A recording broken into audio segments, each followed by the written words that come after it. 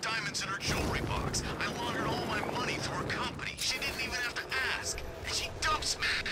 I hear you. My other half's a human rights lawyer.